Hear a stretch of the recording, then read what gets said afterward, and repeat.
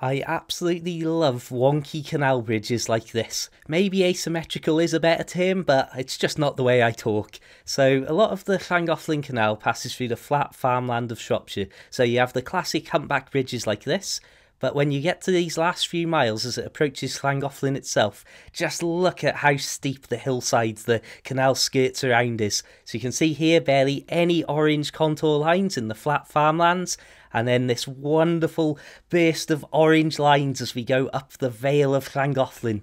In this video we are focusing just slightly upstream from the wonderful but currently out of action aqueduct and just look at this place, you could spend a lifetime talking about this. And in fact I have done, please check out my other videos to see those clips.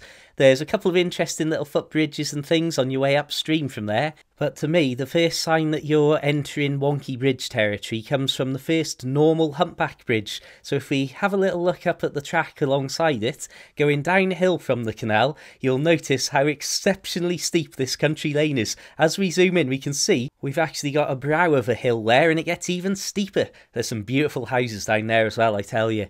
So just up from the Trevor Basin here, you can see just how steep the far bank of the canal is, but then once again, looking downhill towards where the River Runs, we've got firstly a huge amount of wild garlic, but just look how steep that is. There are so many different things you could focus on and talk about in this region, but I think the first thing that we've got to take a moment just to contemplate is Imagine how much work and how difficult it would be to create miles of canal that skirts and crosses a valley like this, but also imagine doing that 200 years ago without all of the modern technology. What an absolutely exceptional feat this is.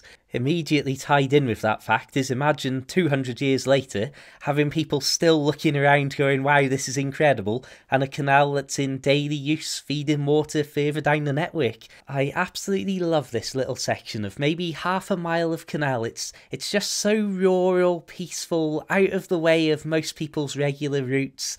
And then you've got these two wonky bridges very close to each other as well. It's also an excellent destination when I'm walking good old Gizmo the dog, and he also seems to approve broadly of the area too. And this bridge in particular, as we zoom in here, talk about asymmetrical. Goodness me, everything about this looks wonky. Thinking about it as I'm recording, I almost love these bridges, not just because of the slightly more unusual look they have compared to a lot of the standard humpback bridges on the network, but also because of what they represent. Because the canal is cutting through so unnaturally flat along the hillside, the bridges are almost adding in their own artificial hillside contours. Before we go, I just want to show you the view from the top of this bridge, and you'll probably realise why the farm track makes a right angle turn as soon as it crosses the canal here, because, yeah, that's once again one of those very steep hills we've seen the canal skirting around. At this point, I think I'll wrap things up and let you continue your day unhindered. Thank you very much for watching. Please check out my other videos and subscribe. Check out my short books about boat life available on Amazon, and please consider checking out my Patreon too. More videos coming soon. See ya!